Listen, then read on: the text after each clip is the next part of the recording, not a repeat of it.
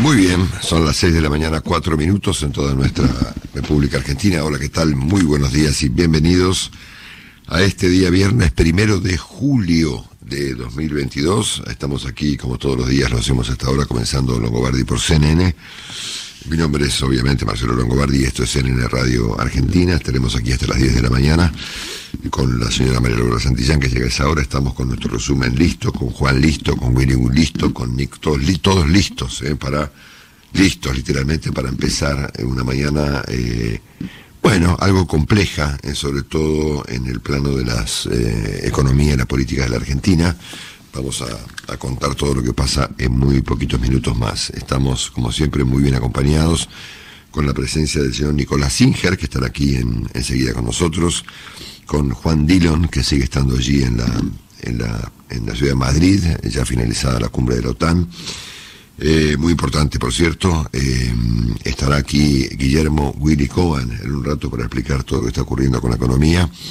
Eh, estaremos con Martín Melo y todas las este, asuntos que rodean al campo en la Argentina, que está por supuesto como siempre bastante complicado, y nos acompaña hasta ahora como siempre la señora Romina Aldana. Hola Romina, buen día. Buen día Marcelo, ¿cómo estás? Buen viernes. Ah, buen viernes y primero de julio ya, ¿eh? Sí, primero de julio. Acaba de arrancar el último tramo del año, hace un ratito, eh, hace seis horas y cinco minutos. ¿eh? Vamos a ver cómo nos va. Igual. Sin cambios. Igual, sí, sí, igual, igual, igual. Bueno, estamos presentando, Romy, si sos tan amable con nosotros, los datos del tiempo a esta hora, hoy viernes en Ciudad de Buenos Aires, y el eh, pronóstico para el día de hoy, y obviamente para este fin de semana que arranca hoy. ¿eh? 9 grados 9 décimas la temperatura, 7 grados 8 la sensación térmica, la humedad está en el 78%. Cielo parcialmente nublado, pero ya se siente que el tiempo empieza a desmejorar porque vamos a tener un día inestable con lluvias aisladas mm. que van a estar presentes en principio en la tarde y noche, máxima de 16 grados pero va a estar mejorando ya el día de mañana, con buen tiempo el fin de semana, con 7 y 6 grados el domingo de mínima, cielo algo nublado, vamos a tener sol entonces y una máxima de 16 grados. Un poquito fresco, pero por lo menos vamos a pasar un lindo fin de semana. Bueno, muy bien. El actual entonces. 9 grados 9 décimas y la sensación térmica 7 grados 8 décimas. Bueno, un gran abrazo, profesor Juan Dillon. Juan, buen día. Marcelo, buen día. ¿Cómo estás? ¿Cómo va eh, este inicio de viernes? ¿Bien? sí, sí, sí, sí, sí. Sí, ¿no? Sí. Bueno. Eh, 184 días para que termine el año. Exactamente. Así que. Bueno. No sé si los contamos. ¿Qué, hacemos? Qué precisión. ¿eh? Bueno, estás aún en Madrid, ¿no? Estoy por unos días más aquí en Madrid. Eh, bueno, pues me, quedaré por hay aquí. hay, muchas novedades, ¿eh? Sí, hay muchas novedades. en cuanto a la Argentina, tenemos, este, te adelanto algo, tenemos este, un presidente que supone que el problema argentino que estamos viviendo es que estamos creciendo mucho. Eh, y ha habido ayer una serie de tensiones e incluso agravios muy importantes en el seno del oficialismo, muy serios eh, que bueno, bueno, veremos cómo, cómo involucionan, porque la verdad que evolucionar, nada evoluciona. Eh, y tenemos este mm, algunos temas económicos que vamos a presentar mm. hoy, algunas agravantes del cepo que se han conocido ayer en la última hora. Eh, hoy el presidente Fernández va a hablar finalmente, finalmente, eh, con el presidente Volodymyr Zelensky, eso va a ocurrir hoy al mediodía, primera vez desde que comenzó la guerra en febrero, ¿eh? y hay algunos comentarios muy raros, muy raros de Alberto Fernández respecto de la cuestión Venezuela. ¿eh? Y en conjunto, digamos que eh, hay un, segmentito esta mañana al principio del resumen que está dedicado a lo que podríamos llamar la política exterior de Argentina. Correcto. Porque aparece Boris Johnson, aparece Venezuela, aparece Ucrania, etcétera, etcétera. Así que bueno, por ahí pasa la, va a pasar la situación, ¿eh? y vamos a escucharte, por supuesto, con atención, Juan, respecto de lo que yo entiendo ha sido muy relevante, eh, ocurrido allí en la ciudad de Madrid, ¿eh? Tanto respecto de la OTAN y Rusia, como de la OTAN y China, que es, creo yo, la gran novedad que ofrece el cierre de la cumbre allí en la ciudad de Madrid. ¿eh? Sí, podríamos decir que hay dos objetivos, un enemigo claro, ¿no? Por lo menos en lo bélico, que es Vladimir Putin, y por otro lado, un enemigo estratégico, Xi Jinping, ¿eh? que se convierte obviamente en una amenaza, así que parte de lo que concluyó en una jornada que seguramente, dos jornadas que serán históricas, Marcelo, ¿eh? la cumbre de los... Bueno, en, Después tengo una pregunta, una pregunta para vos, porque esta mañana leí, como todos los días, el diario El País de ah. España y dice, el campo argentino va a la huelga por mm. la falta de gasoil.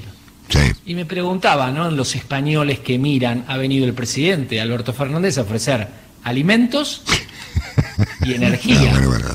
No, no, no, no, O sea, no tenemos campo. Para, para un poquito, para un poquito. Para un poquito. Vos, yo lo que voy a aportarte es un dato a eso, ¿no? En, el resumen, ¿no? O sea, donde vos, vos algo dijiste el otro día, pero yo voy a darte alguna precisión respecto de lo que vos dijiste, ¿no? Es decir, eh, ¿a qué lugar del mundo está mirando Europa para buscar energía? ¿No es cierto? ¿Eh? Que no es, que no es obviamente la Argentina. Ahora, eh, querido amigo, esa clase de preguntas al señor Willy, al señor Willy Cohen, a Willy Cohen. Vino a ofrecer lo que no tienen. al señor Cohen, ¿eh? Cuando aparezca, si es que eso ocurre, ¿ok? Willy anda por ahí. Willy anda por ahí o por allá, no tenemos idea. Así que esa clase de planteos al señor Cohen. ¿eh? Correcto, correcto. Así será. Seis horas, seis horas once minutos, diez grados, una décima la temperatura en Buenos Aires, 70 el porcentaje de la humedad y el cielo está despejado. Recordamos entonces que vamos a tener un día inestable con algunas lluvias en la tarde noche y una máxima de 16 grados.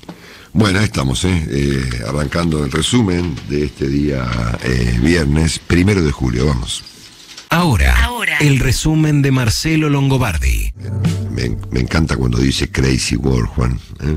Totalmente. ¿eh? Porque el mundo está re loco y la Argentina un poco que también, ¿no? Así que allá, allá vamos, ¿eh?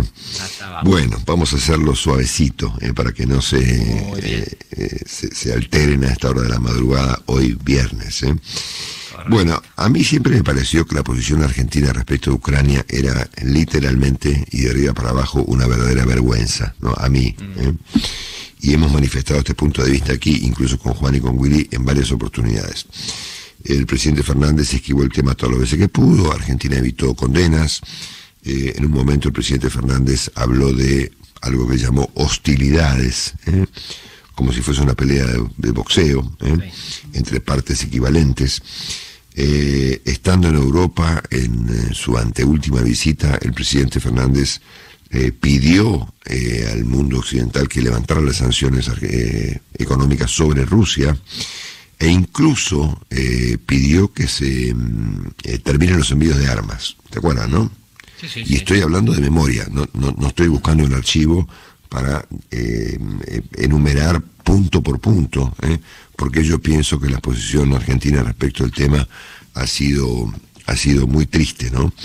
Hay que agregarle también el hecho de que Argentina estuvo en varias reuniones con el propio Vladimir Putin en el ámbito de los BRICS, el canciller Cafiero y luego el propio presidente Fernández, y que eh, eh, dos semanas o tres semanas antes de la invasión, el presidente fue a verlo a Vladimir Putin y le ofreció a la Argentina como puerta de entrada de Rusia en la región. Esto para hacer un resumen así solamente de memoria, Juan, sin entrar en detalles.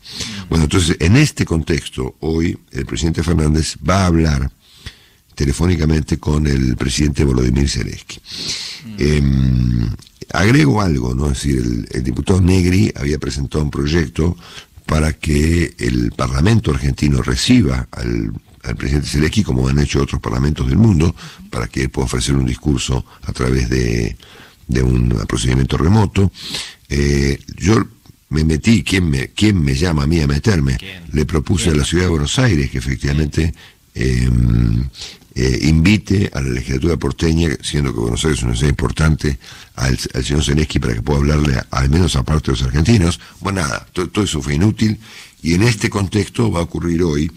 Eh, dicen que sujeta a una serie de cuestiones que tienen que ver con la seguridad de Volodymyr Zelensky, una conversación entre Alberto Fernández y el primer ministro, el presidente de Ucrania. Em, la crónica es, eh, es, tan chiquita, está publicado hoy en el diario Clarín, como una especie de pequeño pirulito, es decir, una cosa muy chiquita, que refleja de algún modo la importancia que la Argentina le da al asunto. Dice que Alberto Fernández programó para este mediodía una llamada con su par de Ucrania, el señor Zelensky. La comunicación, escucha esto, fue solicitada por la Embajada de Ucrania en Buenos Aires. O sea, es un pedido de los ucranianos con la Argentina, ¿no es cierto? Y está sujeta a un dispositivo de seguridad bajo el cual se mueve Volodymyr Zelensky. Eh, la agenda de la conversación tendrá que ver con la situación actual de la invasión rusa y con la ayuda humanitaria argentina que aparentemente habría ocurrido. Yo lo único que sé formalmente es el papel que ha cumplido el piloto argentino Enrique Piñero, que eh, con su propio avión y su propio presupuesto ha eh, rescatado eh, refugiados ucranianos que estaban en Polonia, ¿no es cierto? Mm. Más de eso no sé. bueno, habrá que ver qué, ocurre con esta conversación, ahí me parece importante, pero uno no puede esperar mucho en, este, en esta materia porque ya el presidente Fernández ha sugerido o su desinterés por el asunto o su inclinación por el señor Vladimir Putin, ¿no es cierto? Eh, para agregarle un, aspecto aún peor a esta historia, el, ayer Alberto Fernández, y vaya uno a saber por qué, porque yo digo, a ver, ¿quién lo obliga a decir esto, no? ¿Quién Dijo te manda, no? Que quién lo manda, es decir, este, se le ocurrió volver a avalar al régimen de Nicolás Maduro y volvió a afirmar que em, no hay más denuncias eh, de violaciones de derechos humanos, persecuciones y demás, matanzas, etcétera, este, fusilamientos em, ejecutadas por el régimen de Maduro. Como si, bueno, como si el hecho de que el tipo haya hecho violaciones de derechos humanos y eventualmente, las cosas que no ocurrió, las haya terminado, eso lo es culpa. Es como si, por ejemplo, no sé, Macera un día paró y como un día paró, dijo, bueno, listo, ya está, no mata más gente. ¿Entendés? Claro. Sí. Bueno, esto fue lo que ayer dijo Fernández. No prescriben, me parece, que en el derecho ese tipo de crímenes. Los crímenes. No, pero por supuesto, eh, y, mucho menos en el plano de la política, ¿no es cierto?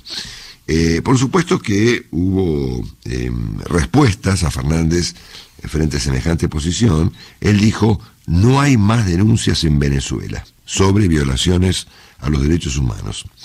Por supuesto que le contestaron de todos lados, este, y de hecho hay informes últimos de Michelle Bachelet que contradicen esta posición del presidente Fernández, pero bueno, este, mm, eh, de hecho ayer mismo eh, la ONU publicó un informe muy crítico sobre el tema, le contestaron varias instituciones, entre ellas la muy respetada Human Rights Watch, este, mm, así que bueno, nada, este, sí, bueno, como puede ser, ¿entendés? Así que tenemos este aspecto de la política argentina que a mí me parece, me, insisto, que me resulta que me resulta importante. Bueno, después tenemos este eh, una nueva posición del gobierno argentino respecto de los tripulantes del avión venezolano. ¿eh? Ah, mira qué bien, qué bien. Sí, obviamente. Exactamente. Para el gobierno de la Argentina, los tripulantes no pueden sumarse a una lista de terroristas, ¿eh? Eh, que fue pedida por los este, dirigentes de la oposición, este, pero la UIF, yo no sé por qué, la UIF, eh, la Unión de Investigaciones Financieras, ha rechazado este tema por considerar que esta gente no cumple semejantes requisitos. Y para completar este panorama inicial, ayer el gobierno del primer ministro Boris Johnson negó la versión de que la conversación con Alberto Fernández, eh, ocurrida en la cumbre del G7, haya tenido el tono que la Argentina dijo que tuvo. ¿eh? Este, la conversación no fue lo enconada, dijeron, este, eh, de lo que de lo que se dijo, ¿no es cierto? Que es más, que fue una conversación amigable, dijeron los británicos. Bueno, Ah, no lo paró en seco entonces. No, que no lo. claro, porque Cafiero nos recuerda a Romina, bien Romy, dijo que el, presidente lo paró en seco a Boris Johnson. Bueno, parece que no habría ocurrido. A Boris. Al primer ministro Boris. ¿eh? Ah, bueno, parece que el primer ministro Boris no lo pararon en seco. ¿eh? Bueno, dicho esto, me meto con la agenda internacional porque después tenemos el tema argentino, tenemos para, para un rato largo. ¿eh? Pero hago yo un breve repaso y ahí le pedimos a Juan que nos ayude a entender lo que está ocurriendo. ¿no? A mí se me ocurrió pensar que eh, evidentemente la guerra eh, va dolorosa pero lenta, ¿no? Dolorosa pero lenta.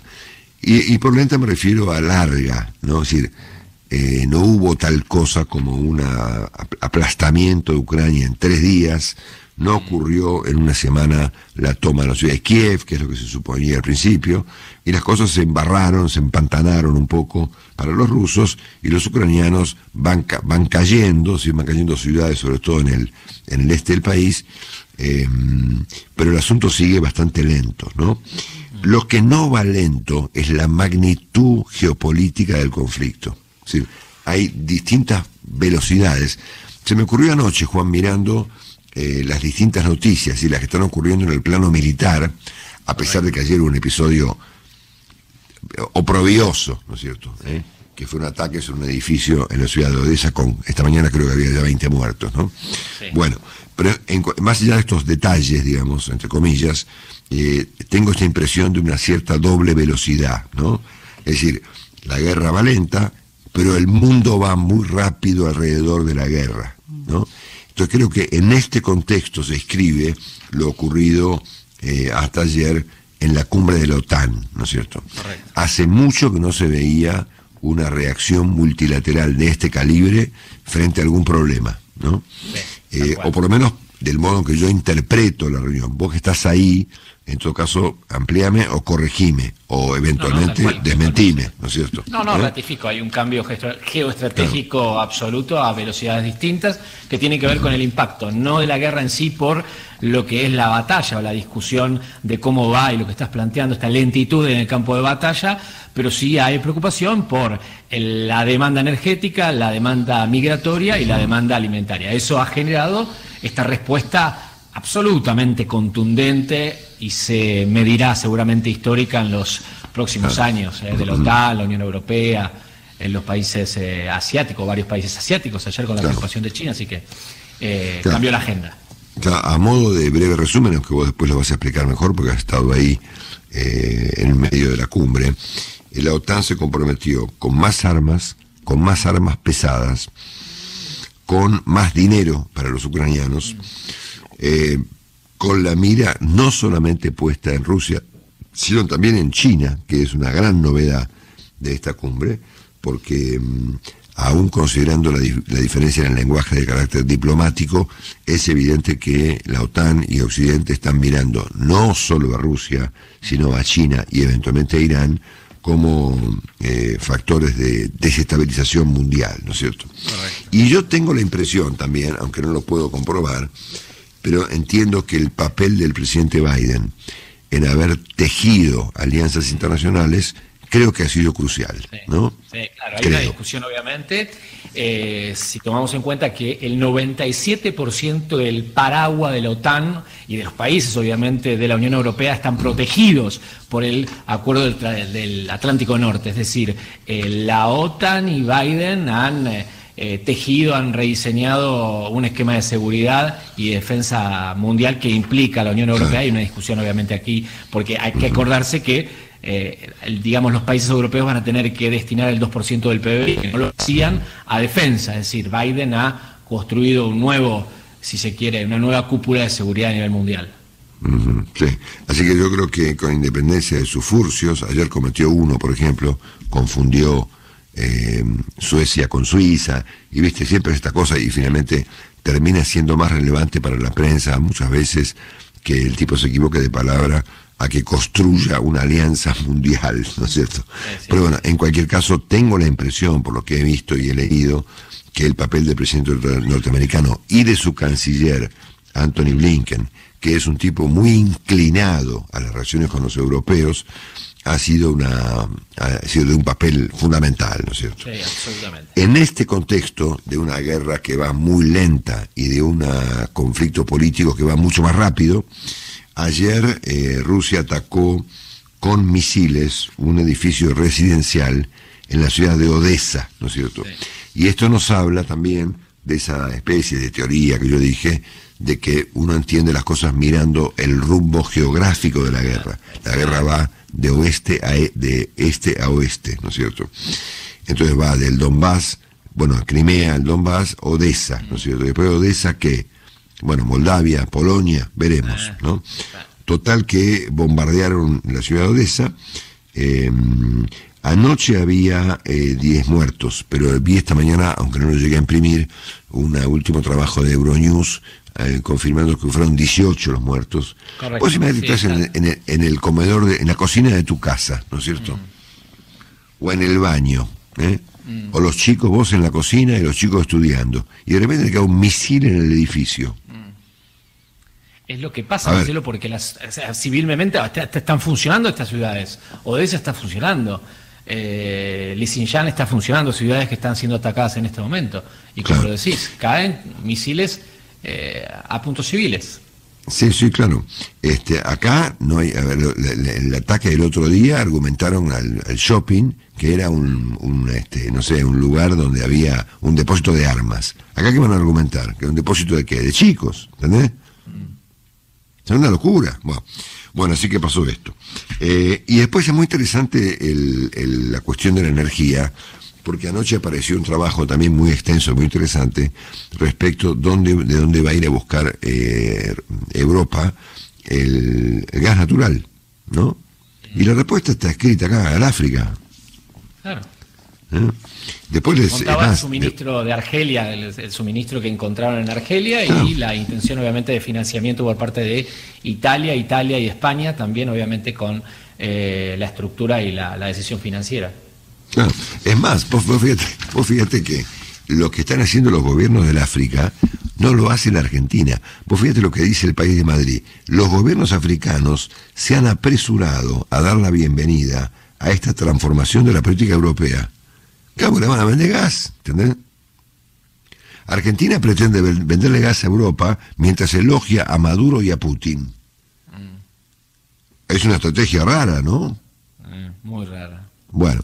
Eh, bueno, para terminar mi parte internacional de Vivienda de Juan, les confirmo lo que llegamos a contar ayer antes de irnos, que es la determinación que tomó el presidente electo de Colombia, Gustavo Petro, respecto de quién va a ser su ministro de Economía. Ayer lo llegamos a contar porque Marcos Álvarez, que es un amigo nuestro que está en Estados Unidos, que es el corresponsal de TN, llegó a mandarme la información eh, rápidamente. Bueno, confirmado que José Antonio Ocampo, un, un, neoliberal. un neoliberal. ¿eh? No.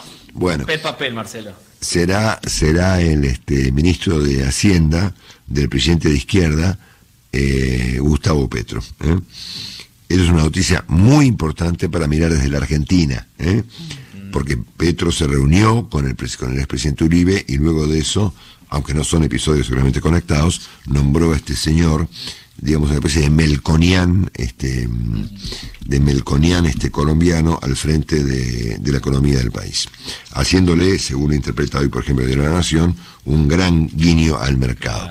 Muy raro fallo de la Corte en Estados Unidos respecto del tema eh, ambiental. ¿eh? Saben que la Corte, que está dominada por los conservadores, son seis a tres, eh, hace pocos días dictó un fallo contra el aborto. Pues ahora lo ha hecho contra, contra las políticas de cambio climático. Este, mm, limitó el uso de una ley muy importante en Estados Unidos que eh, le pone límites y regulaciones a la contaminación atmosférica, ¿eh? una, un fallo antiecológico, digamos, eh, muy en contra de las tendencias mundiales tomado por la Corte Conservadora de los Estados Unidos. Bueno, ayer fue un día, eh, vamos a decirlo así, criptoatómico, ¿eh? porque se hizo pomada todo, inclusive hay un fondo que se llama Three Arrows Capital, que colapsó y este dejó de pagar sus, sus este, obligaciones, entró en default. Eh, la justicia en el país donde está radicada esta compañía, que es las Islas Vírgenes Británicas, ordenó su liquidación. Este, y esto, por supuesto, ha generado eh, caídas y preocupaciones en el mundo de las plataformas de bitcoins. ¿eh?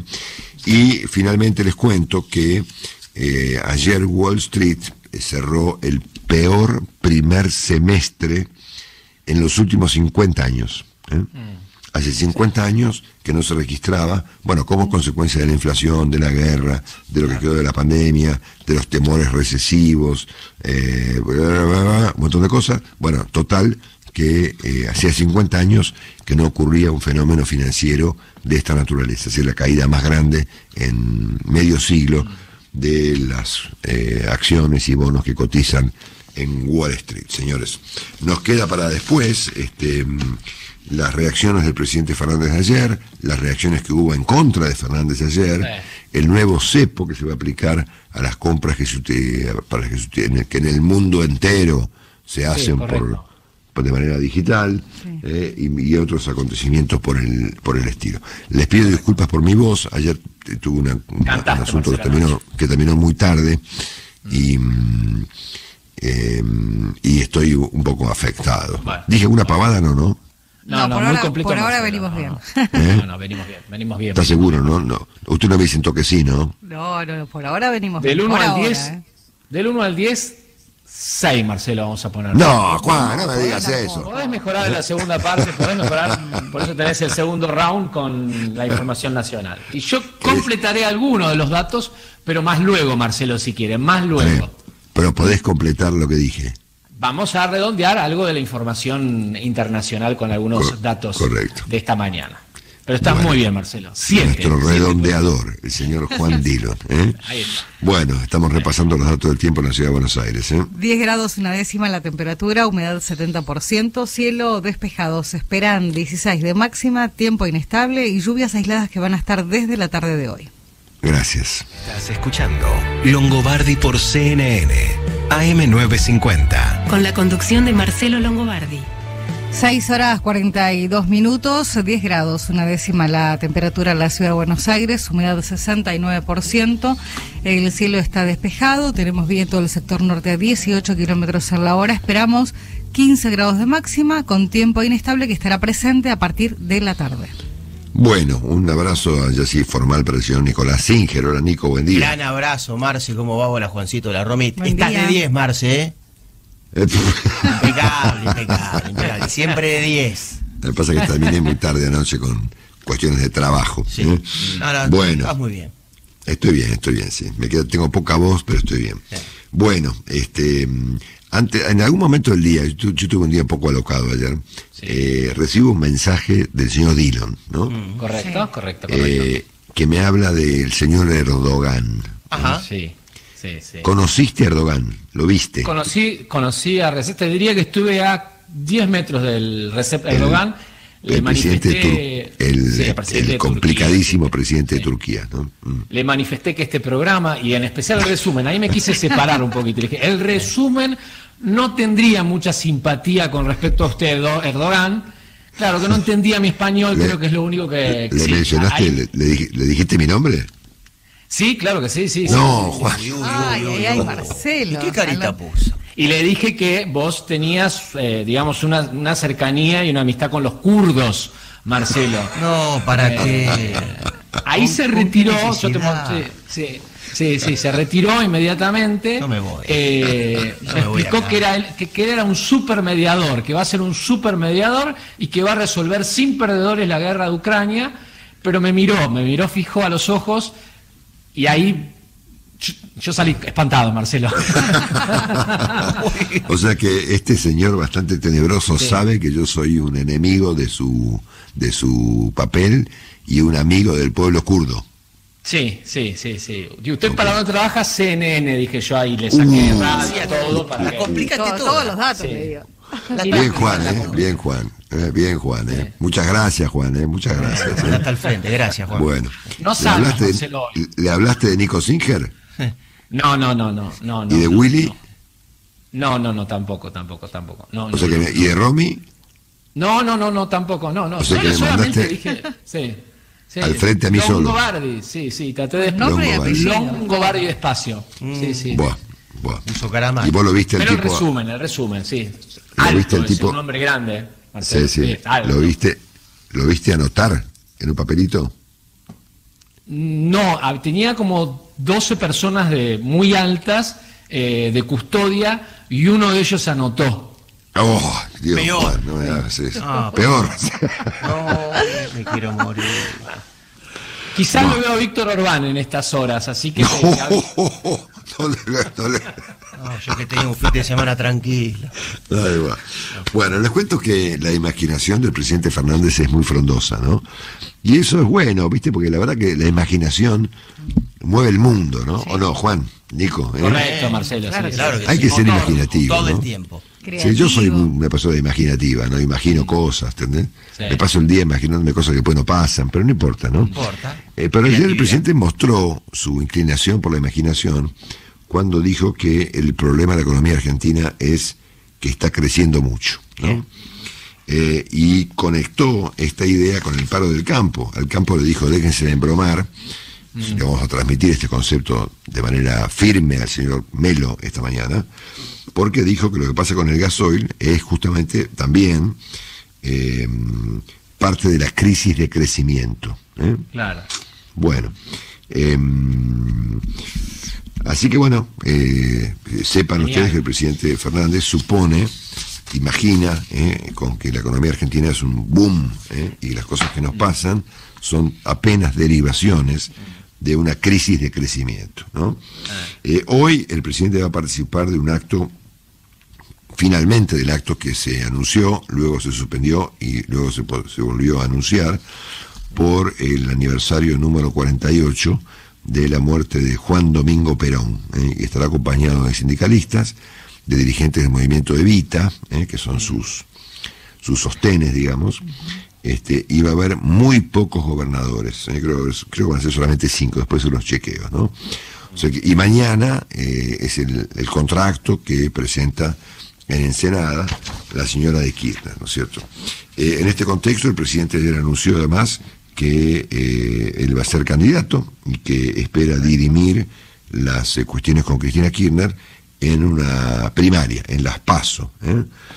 Este, mm, se han, dicho en la Casa Rosada que si tiene que competir con Cristina, lo va a hacer, dijo ayer, dijeron ayer fuentes de la Casa de Gobierno. Esto ocurrió luego de que el, em, el dirigente de la Cámpora, Andrés Cuervo Larroque, mm. planteara un, una idea también muy eh, imaginativa, ¿no es cierto?, que es que la fase moderada se agotó. ¿eh? La frase de, de, Campo, de La Roque no es nueva, ahora la vamos a escuchar, ¿no? Eh, porque ya la había dicho, eh, les voy a pedir que me ayuden con el nombre porque, porque me lo olvidé. ¿Cómo se llamaba este tipo que era el vice de Scioli? Mariotto, Gabriel Mariotto.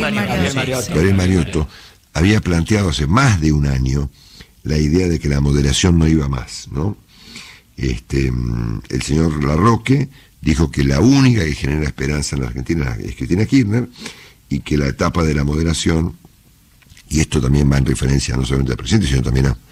A ver, yo no sé qué le vende moderado al presidente hoy en día, pero también es una frase que se teledirigió al ministro de Economía, Martín Guzmán, que eh, Larroque lo ve como terminado, ¿no es cierto? Así que acá tenemos este este también imaginativo comentario del señor Larroque. Lo escuchamos tenemos que salir de la autoflagelación o de martillarnos los dedos todos los días. Ya hemos sido claros, taxativos respecto a, lo que pueden ser las críticas. También hay que ofrecerle no solo a la militancia, sino a la sociedad en general una perspectiva de esperanza, de expectativa. Yo creo que la única dirigente política hoy que genera eso es Cristina. Parece que ella encarna un reaseguro respecto a que hay límites que no se traspasan. Ella es absolutamente confiable. La fase moderada está agotada. No quiere decir eso que nosotros hayamos hecho perfecto, todos somos conscientes de las dificultades que se enfrentan. Sí me parece que se intentó y no ha funcionado. Bueno, y aquí está la frase del presidente cuando dijo que lo que tenemos enfrente es una, justamente, como nosotros chicos, una crisis de crecimiento Una crisis de crecimiento, exactamente. ¿eh? Tengo esa crisis. Eh. Ahí vamos. Lo escuchamos.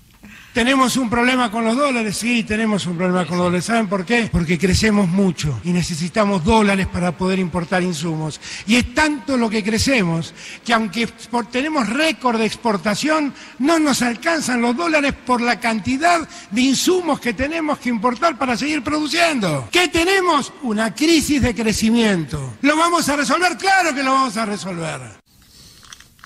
Bueno, en el caso de... En el caso vamos a la frase que siempre, en beneficio del debate. Supongamos que tenga razón, ¿no es cierto? Sí. Hasta ahora no se conoce que el gobierno haya resuelto algo, ¿no? Supongamos que es cierto que el país está frente a una crisis de crecimiento. ¿Cómo lo van a arreglar, ¿no es cierto? ¿Eh? Yo no creo que sea así, ¿verdad? Que hay otro tipo de crisis, ¿no? Sí. Pero bueno, este, el presidente imagina que Argentina está en una crisis de crecimiento. Ayer habló, como para ir completando ese panorama, que no termina todavía acá, la señora de Bonafini, ¿eh? Que claro, esto tiene importancia no por ella, sino porque todos suponemos que ella habla en nombre de alguien, ¿no? Sí. O sea, que el señor Bonafini diga, diga cosas, eh, bueno, este, es habitual, pero que cobran alguna relevancia porque mucha gente supone, yo por ejemplo, que lo hace en nombre de la señora Kirchner, ¿no es cierto? ¿Qué dijo ayer? Mm. Que el presidente Fernández se está abriendo su propia fosa. ¿Eh? Creo que es la de, las declaraciones de ella sobre el gobierno, creo que es la más agresiva de todas. Y dijo que el presidente ya integra la lista de los grandes mentirosos. ¿eh? Bueno, este, y a, y, a, la inversa habló Emilio Pérsico. Emilio Pérsico integra los movimientos sociales que están del lado de Alberto Fernández, ¿no? que dijo que el país de Cristina tenía 11 millones de trabajadores sin derechos. ¿eh? Ese país era una mierda, dijo, perdón por la expresión, ¿eh? mm. y yo no quiero ese país. Es el tono con el que se hablan los voceros de unos y de otros, ¿no? mentirosos, país de mierda, este, etcétera, etcétera. Una, una garantía, digamos, para los argentinos que estamos en el medio de un conflicto delirante, ¿no es cierto? Eh, en el medio de esta historia aparece otro protagonista, que es el tercero en discordia, que se llama Sergio Massa, ¿eh? que hace unos días había amenazado con pegar un portazo. ¿no?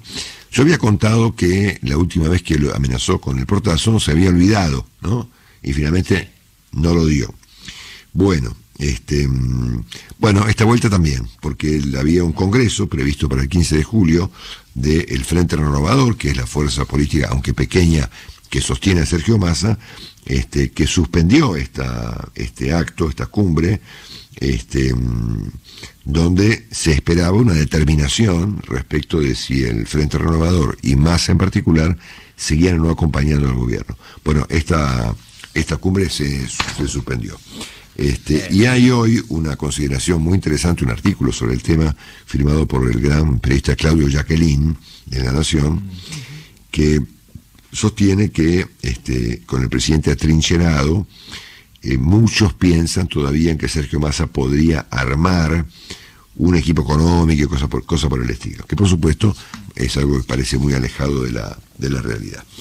Eh, yo no sé bien en qué quedó la pulseada que había comenzado hace unos días entre el presidente Fernández y su gente y la señora Kirchner y su gente respecto del manejo de los planes sociales. ¿eh? Tal vez el, Cristina Kirchner ofrezca algún punto de vista en el acto de mañana sábado mm. respecto de esta, de, esta, de esta disputa, es decir, una disputa que tiene que ver básicamente con la, con la caja, ¿no es cierto? Y esta mañana también, antes de cambiar el tema, eh, el, quien examina el estado de cosas del presidente es Sergio Berestein, en un artículo también publicado por La Nación, que plantea si Alberto Fernández va a reaccionar antes de que sea demasiado tarde, ¿no? Mm. A mí ya me parece, Sergio es un optimista aquí probablemente, porque parece complicado que el presidente tenga alguna reacción si está viendo, por ejemplo, que la economía argentina es un éxito, ¿no? Claro. O sea, en todo caso, eh, a mí se me ocurre que las reacciones deben ser el resultado de un diagnóstico apropiado, ¿no? Entonces, si el presidente parte de la base de que esto va a bomba, y bueno, no va a tener una reacción, ¿no es cierto? ¿Eh? Tal cual. Bueno, entonces este, hay una vinculación directa entre el diagnóstico y el comportamiento, ¿no? Entonces el presidente dice, no, esto va fenómeno, bueno, ¿qué va a hacer? Nada, ¿entendés? Nada. Nadie cambia un éxito, excepto yo. nadie, nadie, nadie cambia un éxito, nadie lo hace. ¿eh? Bueno. Bueno, ya estamos triunfando, Marcelo. Es tiempo de cambiar, ¿eh, Marcelo? Estamos triunfando. Este, sí, ya estamos empezando a triunfar y dentro de poco, ¡fum! Nos vamos ¿eh? a fracasar de nuevo. ¿eh? Bueno, eh, ayer, con el super recontracepo, el Banco Central consiguió comprar 536 millones de dólares más. Por lo tanto, en una semana acumuló 1.500 millones, obviamente con un costo pírrico, ¿no? Este, es la frazada corta, etcétera. Es decir, ustedes entienden, ¿no? Es decir, el Banco Central para conseguir reservas tuvo que poco menos que parar la economía, ¿no es cierto? Bueno, obviamente así es fácil, ¿no? Eh, pero bueno, en cualquier caso, este, con el cepo recontra reforzado, el Banco Central eh, se queda con toda la oferta de divisas, ¿no es cierto? Y le deja, por supuesto, un saldo favorable. Ayer el blue cerró, creo que un peso más abajo de ayer, eh, 238 pesos, pero las acciones argentinas en Wall Street cayeron todas, ¿no? Ahí es parte de la Argentina y parte, por supuesto, del mundo. Em, bueno, eh, tenemos eh, aumentos, ¿eh? tenemos aumentos, tenemos emisión, emisión sin freno. Esta mañana lo cuenta Javier Blanco, el banco, el gobierno le pidió al Banco Central 95 mil millones más que se suman a los 377 mil de millones de dólares de pesos de emisión eh, para cerrar este mes de, junio, que se cerró ya ayer, ¿no? Eh, se esperan para este mes de julio, obviamente, aumentos nuevos, por ejemplo, prepagas, colegios privados, electricidad, gas, agua ¿eh? y otros. Así que tendremos, obviamente, otro mes de, de julio complicado. Ayer el gobierno, para ajustar aún más el cepo, Em, em, eh, prohibió las compras con tarjeta, entiendo que en el segmento cuotas, de lo que se llama el servicio puerta a puerta, ¿no? Es decir, comprar, em, no sé, ponerle, me imagino yo, en Amazon, ¿no es cierto? ¿Eh? esto lo va a tener que explicar Willy, por supuesto, que es el, el segmento tarjetas de crédito del programa, le corresponde a Willy Cohen. ¿eh? También eso. También eso. Tarjeta de sí, sí, por supuesto, la, parte de tarjetas, Amazon, Mercado Libre, todo eso le toca eh, delivery, delivery es, un, es, un tema, es un tema de Willy. Y por supuesto, esto me imagino yo, es un primer paso a que las tarjetas argentinas no puedan usarse en el exterior, si es que te las aceptan. Claro. Yo supongo que ya medio que no. ¿eh? Mm. Y las miran con las miran con desconfianza. ¿De dónde es esto? Por lo menos te piensa, es que no se vaya, quédese al lado del postnet. Bueno, esto se llama el cepo puerta a puerta, ¿ok? Bueno, después este ayer el, el, el kirchnerismo en el Senado aprobó una reforma jubilatoria que por supuesto aumenta el nivel de gasto y lo han hecho eh, sin contar con la aprobación del presidente y por supuesto del ministro Guzmán. Es decir, aquí hay mm. una suerte de doble comando visible en materia de gasto. Después, esto también, la parte jubilatoria, moratoria, jubilaciones, impuestos y demás, está en la lista de asuntos ¿Alumbrado, que atiende... Barrido limpieza? ¿Alumbrado, barrido y limpieza también? Que atiende que atiende Willy, ¿no es cierto? Esto puede complicar además, obviamente, las ya de por sí muy complicadas metas argentinas con el Fondo Monetario Internacional, ¿no? Así que bueno, después, para, perdón, para cerrar este, este resumen de esta mañana, que lo hemos presentado con, ustedes verán con cierta calma, el por ser viernes. El viernes, sí. Les cuento que, les cuento que un, asunto que a mí me, resulta muy especialmente irritante, por, no por una, sino por varias razones. Eh, porque un tipo se llama Carlos Díaz, eh, que fue uno de los asesinos del joven Axel Bloomberg, eh, tendrá salidas transitorias. Mira qué lindo. Bueno, este, yo recuerdo muy bien el caso Bloomberg, este, porque yo trabajaba en Radio 10, la noche que aparece en la escena pública argentina el señor Bloomberg, ¿no es cierto? Que fue, yo me acuerdo que mm, Me acuerdo, me acuerdo muy bien porque fue, no me acuerdo exactamente cómo estaba armada la programación de aquella época, esto pasó hace muchos años. Hace 20 años, este, y yo iba en el auto y escuchando la radio en la que trabajaba, por supuesto, Radio 10, y escucho al señor Bloomberg entrevistado por Antonio Laje, ¿eh? que era el conductor de ese segmento, creo que era a las 8 de la noche, por ¿no? Y claro, me imagino que todo el mundo estaba escuchando al señor Bloomberg y yo mismo me quedé paralizado, ¿no es cierto? Mm. Me quedé paralizado con este, la historia del caso y con el y con la, el modo en el que el señor Bloomberg contaba la historia de lo que había ocurrido con su hijo, ¿no es cierto? Después, por supuesto, vinieron las marchas, los planteos de Bloomberg, eh, cómo, cómo, Kirchner, este, entonces presidente Kirchner, manejó el asunto hasta que lo mandó fulminar. Y yo vi cómo se hizo eso, ¿no es cierto? Y quiénes lo hicieron, ¿no? Cuando em, lo escracharon a Bloomberg con el propósito de derrumbar su causa, bajo el argumento de que en el fondo no era ingeniero. Todo el mundo le decía ingeniero y que el tipo finalmente no era ingeniero. Eh, eso lo hicieron algunos comunicadores y periodistas que hoy en día se han embanderado en el antikirchnerismo total, ¿no es cierto? Porque en aquella época eran unas alfombras del presidente Kirchner y del ministro Julio Devido, ¿no es cierto? Y no me hagan contar detalles. No, no, Marcelo. ¿Eh? muy bien. Porque yo lo vi eso, ¿ok? Bueno, ahora, este, eh, para terminar de empeorar el asunto, uno de los tipos que mató a Axel Bloomberg sale en libertad. Qué triste.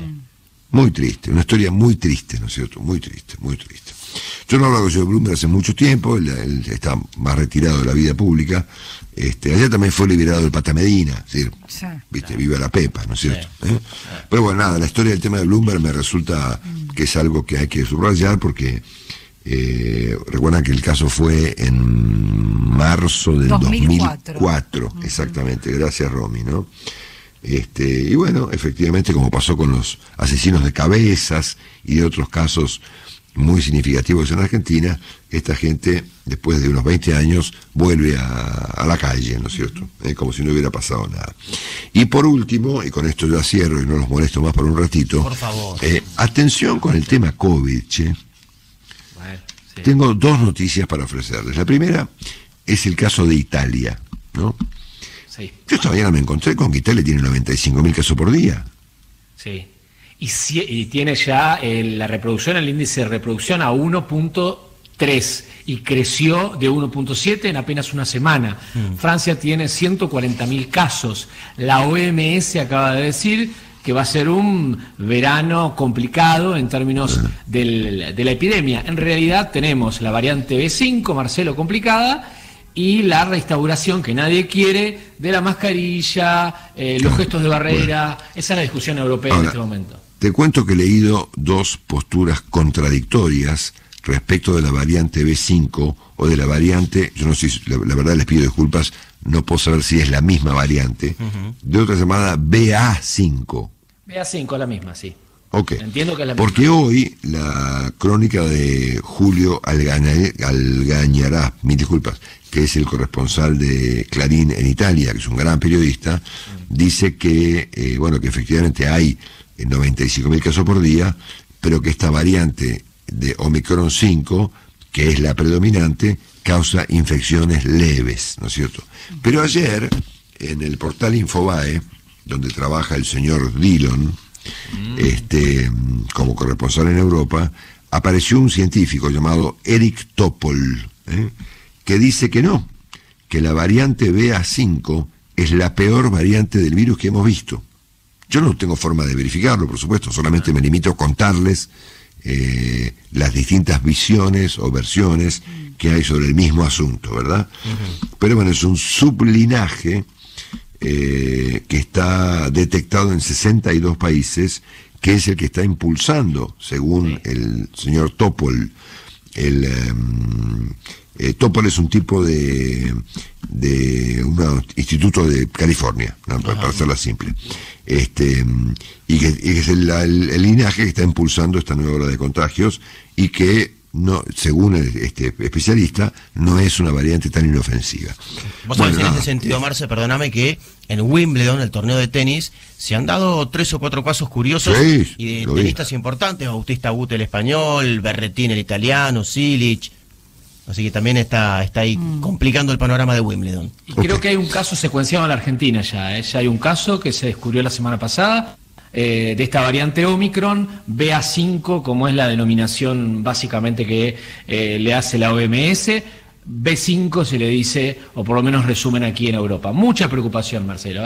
A ver, en términos distintos, no va a ser la misma epidemia, pero la restitución de gestos de barrera, utilización de barbijo es, cuestión de horas, es cuestión de horas en Europa. Bueno, genial chicos, agradezco mucho. Este, ni bien venimos a las noticias, escucharemos el, eh, primer resumen de nuestro amigo el señor Nicolás Singer en instantes. la temperatura Romy en la ciudad de Buenos Aires. 10 grados una décima, humedad 69%, cielo despejado y máxima para hoy 15 grados. Muchas gracias, ya venimos. ¿eh?